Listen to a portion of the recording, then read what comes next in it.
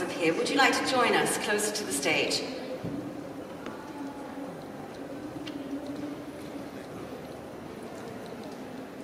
Thank you. I'm going to be on later in couple hours. Um, I was really interested in the claims you were making at the end about that you are happy to believe that you've been entirely replaced already. Um, doesn't it, I mean, I realize that since you're a powerful person, you have a lot of content uh, IP lawyers that can make sure that, that you get the property back. But um, there was a study that, that some people at MIT did that indicated that when you use this, you get sort of the whole world leveling up to around 70 or 80 percentile. Uh, not necessarily all the way to the top.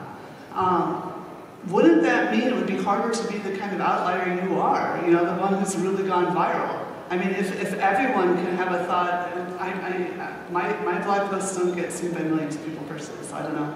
Yeah, so uh, great question, and uh, this is what we, we, we, thought of too. So if everyone has access to this technology, then uh, uh you know how are you going to stand out? And, and that will be a completely different game right? So uh, you're going to have to figure out what you have to do and which prompts you'll have to uh, inject to get the best output. And we've seen that um, uh, internal testing, we've, we've shared this tool with a bunch of people, and uh, some people are way better at it than others.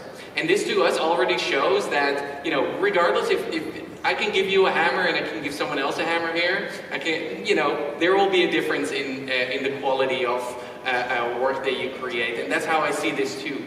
Uh, so it'll be much more about who has the best ideas, uh, who's uh, ready to iterate as quickly as possible, and um, who might find some other secret sauce in this new system. So, so, so kind of like it is now, just with other stuff. Nothing changes.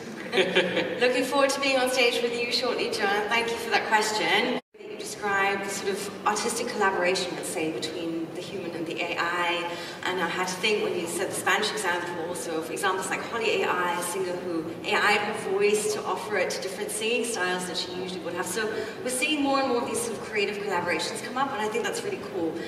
And, and yet when you said six months till photorealism, and I had to think of the writers and the actor strike going on in the US and the fear of replacement there, like what would be perhaps from a perspective of a creative court industry? Yeah, so I, I thought of the writer's strike and I, I thought, okay, well, yes, we can all protest uh, you know, we, we can protest generative AI or we can start embracing it because all of a sudden, where does all the inspiration and the creativity come from? From these writers. So you give these writers one of these tools that makes an entire video and you say, you're the writer, put your entire script in there and, and, and start working with it like that. Now all of a sudden you don't need camera equipment, you don't need expensive editors, you don't need expensive actors because you can fill this up with generative AI. Or if you are the actor, you can fill up the rest. So it starts leveling out the playing field and makes it much more accessible for everyone to do some extremely high budget and high level uh, storytelling. So I think we will have an happy ending. That sounds great. What a fantastic note to end on. A big round of applause for you, Jordi. Thanks so much for being here today.